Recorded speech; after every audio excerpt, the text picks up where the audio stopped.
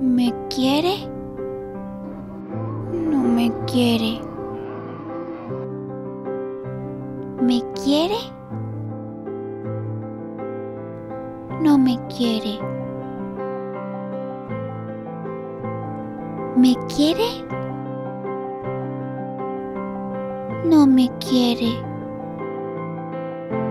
¿Me quiere? Febrero es un buen mes para extender el cariño y el amor todo el año. Guatevisión.